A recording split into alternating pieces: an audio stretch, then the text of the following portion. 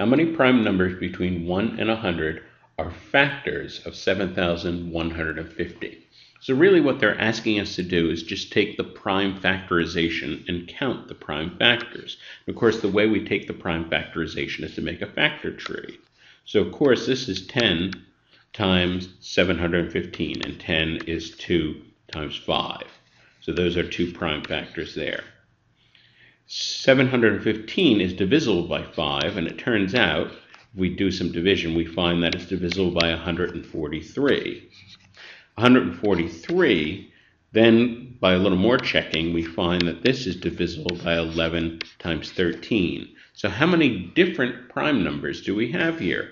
We have 2, 5, 11, and 13. We have four prime numbers, and this is answer choice D.